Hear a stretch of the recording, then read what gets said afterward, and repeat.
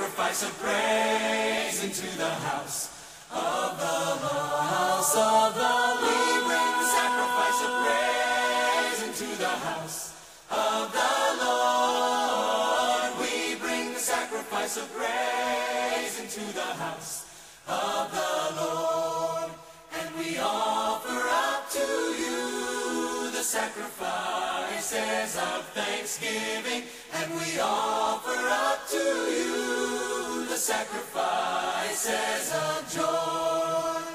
We bring the sacrifice of praise into the house of the Lord. We bring the sacrifice of praise into the house of the Lord, and we offer up to you the sacrifices of thanksgiving and we offer up to you the sacrifice.